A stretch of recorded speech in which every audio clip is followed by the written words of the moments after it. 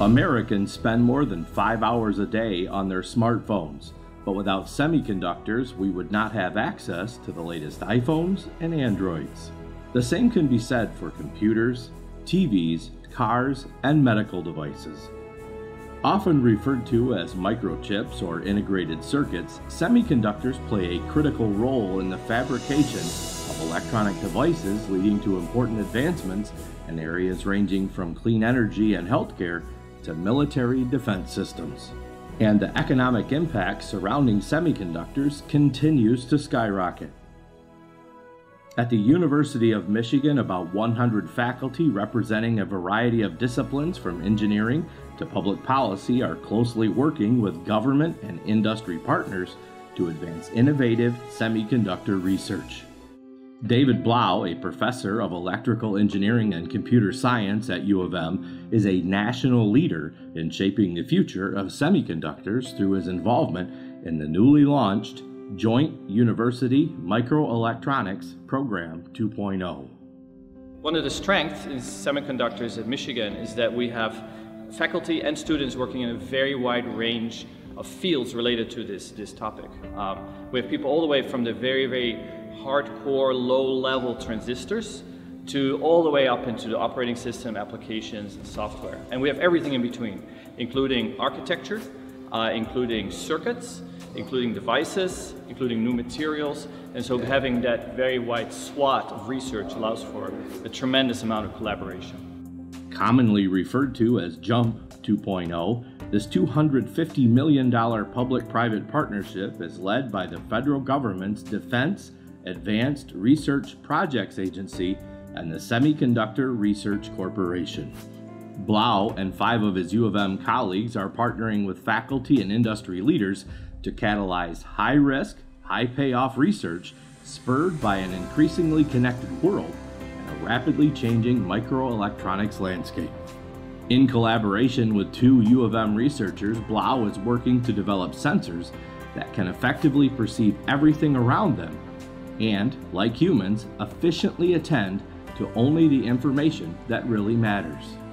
As one of the nation's leading public research universities, U of M is committed to translating semiconductor research and innovation for broader societal impact. The world is also becoming more reliant on artificial intelligence or AI. Semiconductors are essential components of electronic devices, including those used for AI, such as neural network processors.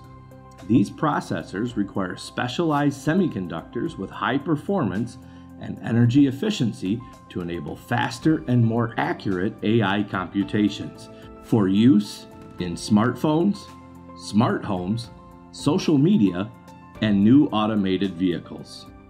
Wei Lu, a professor of electrical engineering and computer science, is leading the way in creating powerful and efficient AI systems and was named the Distinguished University Innovator of the Year in 2022 for his pioneering efforts in the development and commercialization of novel electrical devices. His startup, MemryX, has developed a programmable AI accelerator chip with unmatched performance and relatively low power. So uh, at MemryX, we develop energy efficient AI chips that run very sophisticated machine learning models at the edge with unparalleled power consumption, throughput, latency, and cost.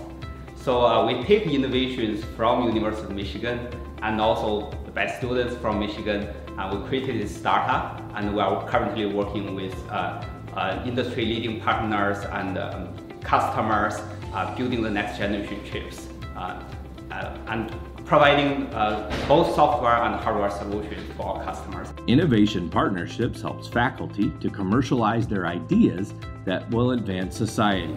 MemryX is located in the Innovation Partnerships Startup Incubator, which provides resources to qualified U of M startups that are emerging from the pipeline of Ventures startup projects. Innovation Partnerships has been a great help from day one. They obviously provide the office space, they provide a lot of infrastructure support and help us recruit students and staff and also help us uh, making connections to investors and potential customers.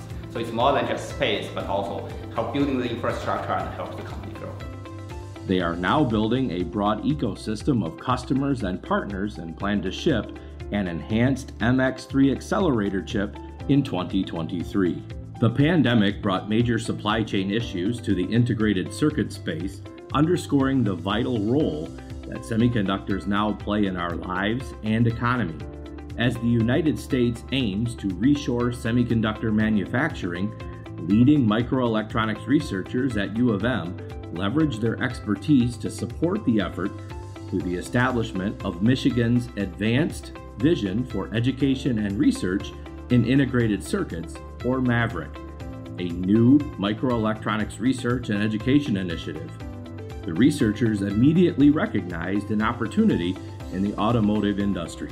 The University of Michigan has the strength, the size, and the natural expertise in automotive semiconductors that makes it the unique place in this country to pursue innovation in that domain. But we also have a very close co-location with an industry who is, I would say, the forefront of potential for advancement as it comes to semiconductor. U of M's College of Engineering is among the largest engineering schools in the country, developing top-notch talent in microelectronics a significant advantage as semiconductor industry leaders seek to fill over 50,000 engineering positions over the next 10 years. There are so many semiconductor companies who are visiting us specifically because they want to enter the automotive semiconductor market. The MAVERIC Collaborative, if it were to be successful, will strongly contribute to assert a growth within the state of Michigan of talent in the semiconductor space and support the effort that the state government is already pursuing to bring more talent that come to study in Michigan and stay within the state for their career working in semiconductor.